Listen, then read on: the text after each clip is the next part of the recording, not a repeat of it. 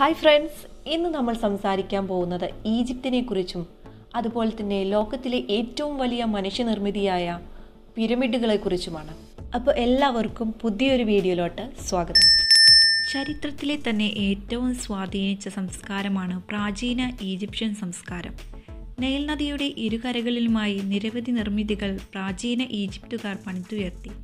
ഇവയിൽ ഏറ്റവും വലുതും ഏറ്റവും സുപ്രസിദ്ധവുമായ നിർമ്മിതിയാണ് ഗിസയിലെ പിരമിഡും സ്ഫിങ്സും തടിയുടെ ദൗർബല്യത്താൽ വെയിലത്തുണക്കിയ മൺകട്ടകളും കല്ലും പ്രാചീന ഈജിപ്തുകാരുടെ പ്രധാന നിർമ്മാണ സാമഗ്രികൾ ആയിരുന്നു. കല്ലുകളിൽ ചുണ്ണാമ്പുകല്ലിനായിരുന്നു പ്രാമുഖ്യം. എന്നിരുന്നാലും മൺകല്ലുകളും കരിങ്കല്ലുകളും ഇവർ നിർമ്മാണ പ്രക്രിയക്ക് ഉപയോഗിച്ചിരുന്നു. ശവകുടീരങ്ങൾ ക്ഷേത്രങ്ങൾ ഇവ നിർമ്മിക്കാനാണ് കല്ലുകൾ പ്രധാനമായും ഉപയോഗിച്ചിരുന്നത്. അതേസമയം രാജകൊട്ടാരങ്ങൾ കോട്ടകൾ വീടുകൾ എന്നിവ നിർമ്മാണത്തിനാണ് കട്ടകൾ ഉപയോഗിച്ചിരുന്നത്. ഈജിപ്ഷ്യൻ പിരമിഡുകളിൽ കൂടുതലും മൺകല്ലിൽ പണിതീർത്തവയാണ്. നെയിൽ നദിയിൽ നിന്നും ശേഖരിക്കുന്ന ചേറായിരുന്നു വീടുകളുടെ പ്രധാന നിർമ്മാണ വസ്തു അച്ചുകളിലാക്കിയ ഈ ചെളി സൂര്യപ്രകാശത്തിൽ ഉണക്കാൻ വയ്ക്കുന്നു. കട്ടിയാക്കിയതിനു ശേഷം ഇവ നിർമ്മാണ പ്രക്രിയയ്ക്ക് ഉപയോഗിക്കുന്നു. ഈജിപ്തിന്റെ തലസ്ഥാനമായ കെയറോയുടെ പ്രാന്തപ്രദേശത്താണ് ഗിസ പീഠഭൂമി സ്ഥിതി ചെയ്യുന്നത്. ഇവിടുത്തെ പിരമിഡുകളുടെ സമുച്ചയം വിശ്വപ്രസിദ്ധമാണ്. നെക്രോപോളീസ് എന്നും ഈ പ്രദേശം അറിയപ്പെടുന്നു. പുരാതന ഗിസ നഗരത്തിൽ നിന്നും ഏകദേശം എട്ട് കിലോമീറ്റർ മാറി മരുപ്രദേശത്താണ് ഈ സമുച്ചയമുള്ളത്.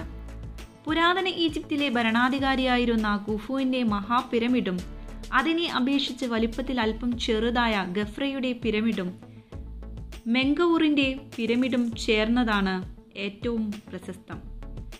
ഇവയ്ക്ക് ചുറ്റുമായി രാജ്ഞിമാരുടെ പിരമിഡുകൾ എന്നറിയപ്പെടുന്ന ചെറിയ ചെറിയ സൗധങ്ങളും മഹാനിർമ്മിതി സ്പിങ്സും സ്ഥിതി ചെയ്യുന്നു. ലോകത്തിലെ ഏറ്റവും വലുതും പഴക്കമേറിയതുമായ ഗിസയിലെ മഹാപിരമിഡാണ് ഗുഫുവിന്റെ പിരമിഡ്. പുരാതന ലോകാത്ഭുതങ്ങളിൽ ഇന്ന് അവശേഷിക്കുന്ന ഏക നിർമ്മിതിയും ഈ പിരമിഡാണ്. ഗഫ്രെ തന്റെ പിരമിഡ് പിതാവായ ഗുഫുവിന്റെ പിരമിഡിന് അടുത്തായിട്ടാണ് സ്ഥാപിച്ചത്. അത് ഗുഫുവിന്റെ പിരമിഡോളം ഉയരമുള്ളതായിരുന്നില്ല എങ്കിലും അത്തരമൊരു പ്രതീതി സൃഷ്ടിക്കാനായി ആ പിരമിഡിന്റെതിനേക്കാളും മുപ്പത്തിമൂന്ന് അടി അധികം ഉയരത്തിലുള്ള തറയിലാണ് ഗഫ്രെ തന്റെ പിരമിഡ് പണിതുയർത്തിയത്. തന്റെ പിരമിഡിന്റെ നിർമ്മാണത്തിനോടൊപ്പം തന്നെ ശവകുടീരത്തിന്റെ കാവൽപടനായി സ്പിങ്സിന്റെ നിർമ്മാണവും ഗഫ്രെ ആരംഭിച്ചു.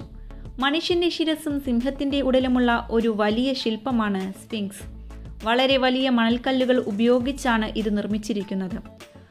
ഇതിന്റെ ആകെ ഉയരം ഭൂനിരപ്പിൽ നിന്നും അറുപത്തഞ്ച് അടിയോളം വരും. പാത മുതൽ വാൽ വരെ എഴുന്നൂറ്റി മുപ്പത്തെട്ട് അടിയും താഴെ മുതൽ ശിരസ് വരെ അറുപത്താറ് പോയിന്റ് മൂന്ന് അടിയുമാണ് ഈ ശില്പത്തിന്റെ വലിപ്പം. ഈജിപ്തിലെ അറിയപ്പെടുന്ന ഏറ്റവും പഴക്കം ചെന്ന പുരാതന ശില്പങ്ങളിൽ ഒന്നാണ് സ്ഫിങ്സ് പിരമിഡിന്റെ അകത്തെ ഇടനാഴികകൾ വളരെ ലളിതമായി രൂപകൽപ്പന ചെയ്തവയാണ്. നേരെ ശവക്കല്ലറയിലേക്ക് ചെന്നെത്താൻ കഴിയുന്ന വിധത്തിലാണ് അവ നിർമ്മിച്ചിരിക്കുന്നത്. എങ്കിലും പിരമിഡുകൾക്കുള്ളിൽ സമർപ്പിച്ച അമൂല്യ സമ്പത്ത് ചില സമയത്ത് മോഷ്ടാക്കളിൽ നിന്നും രക്ഷപ്പെട്ടില്ല. പിരമിഡിനകത്ത് ചില തുരങ്കങ്ങൾ പണിതിരുന്നു. ഭൂനിരപ്പിൽ നിന്നും എത്രത്തോളം ആഴത്തിൽ ശവക്കല്ലറ നിർമ്മിക്കാൻ സാധിച്ചു എന്ന് മനസ്സിലാക്കുന്നതിനു വേണ്ടിയാണ് ഇവ ഉപയോഗിച്ചിരുന്നത്. വിവിധ രാജവംശങ്ങളും പിരമിഡ് നിർമ്മാണം മുന്നോട്ട് കൊണ്ടുപോയി. പിൻകാലത്ത് സാമ്പത്തികമായി പ്രതികൂല സാഹചര്യം ഉടലെടുത്തപ്പോഴാണ് അവയിൽ പലതും നിലച്ചത്. ഈജിപ്തിലെ പിരമിഡുകൾ വളരെ പ്രശസ്തമാണ്. കല്ലുകളാലോ മൺകട്ടകളാലോ നിർമ്മിക്കപ്പെട്ട ഇവ ലോകത്തിലെ തന്നെ ഏറ്റവും വലിയ മനുഷ്യനിർമ്മിതികളാണ്. ഇവയിൽ ഏറ്റവും പ്രസിദ്ധമായ പിരമിഡാണ് ഗിസയിലെ പിരമിഡ്. ചരിത്രപരമായി തന്നെ പാശ്ചാത്യരുടെ സങ്കല്പത്തിലെ ഈജിപ്തിന്റെ പ്രതിരൂപമായ പിരമിഡുകൾ ഗ്രീക്ക് കാലഘട്ടത്തിലാണ് പ്രശസ്തി നേടിയത്.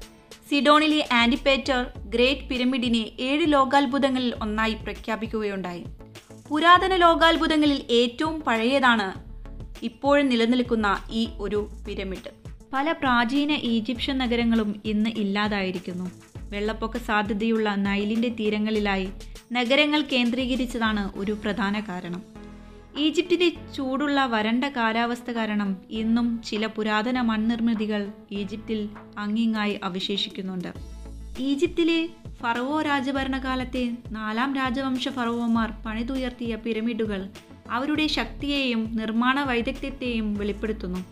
ഗാംഭീര്യമുള്ള ശവകുടീരങ്ങളിലായി മാത്രമല്ല തങ്ങളുടെ നാമം എന്നും ഓർമ്മിപ്പിക്കാൻ കാരണമാക്കുന്ന നിർമ്മിതികൾ എന്ന ആവശ്യവും മുന്നിൽ കണ്ടാണ് ഫറവോമാർ പിരമിഡുകൾ സൃഷ്ടിച്ചത്. ഭീമാകാരമായ വലിപ്പവും ലളിതമായ ആകൃതിയും പിരമിഡുകൾ ഈജിപ്തുകാരുടെ നിർമ്മാണ മികവിനെ തുറന്നുകാട്ടുന്നു. ശരീരം സൂക്ഷിക്കുന്നതിനോടൊപ്പം തന്നെ തന്റെ മരണശേഷം ഫറുവക്ക് ആവശ്യം വരുന്ന വസ്തുക്കൾ സൂക്ഷിക്കുവാനും പിരമിഡ് ഉപയോഗിക്കപ്പെട്ടിരുന്നു. ഭൂമിയിലെ മരണം അടുത്ത ലോകത്തിലേക്കുള്ള യാത്രയുടെ ആരംഭമാണ് എന്ന് ഈജിപ്തിലെ ആൾക്കാർ വിശ്വസിച്ചിരുന്നു. പിരമിഡിനു താഴെയോ അതിനുള്ളിലോ ആയി രാജാവിന്റെ ശരീരം എംബാം ചെയ്താണ് ഇതിനായി സൂക്ഷിച്ചിരുന്നത്. മരണശേഷമുള്ള ജീവിതത്തിലേക്ക് മാറുവാനുള്ള സൗകര്യമൊരുക്കലായിരുന്നു ഇത്. അപ്പോൾ ഇന്നത്തെ വീഡിയോ എല്ലാവർക്കും ഇഷ്ടപ്പെട്ടു വിചാരിക്കുന്നു. ഇഷ്ടപ്പെട്ടാൽ ലൈക്ക് ചെയ്യാനും നിങ്ങളുടെ അഭിപ്രായങ്ങൾ കമന്റ് ചെയ്യാനും മറക്കരുത്. സബ്സ്ക്രൈബ് ചെയ്യാത്ത കൂട്ടുകാരാരെങ്കിലും എന്റെ വീഡിയോ കണ്ട് ഇഷ്ടപ്പെടുകയാണെങ്കിൽ സബ്സ്ക്രൈബ് ചെയ്യാനും മറക്കരുത്. അപ്പോൾ ഇനിയും നമുക്ക് ഇതുപോലുള്ള നല്ല നല്ല വീഡിയോസ് ആയിട്ട് വീണ്ടും കാണാം. താങ്ക്